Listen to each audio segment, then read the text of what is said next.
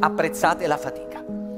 Se potete, nella vostra vita non abbiate paura di faticare, perché il valore delle cose è determinato dalla fatica che si impiega nel poterle ottenere o nel poterle realizzare. Se otteniamo delle cose senza fare nessuna fatica, queste cose non hanno nessun valore, non servono a niente, non ce ne rendiamo nemmeno conto.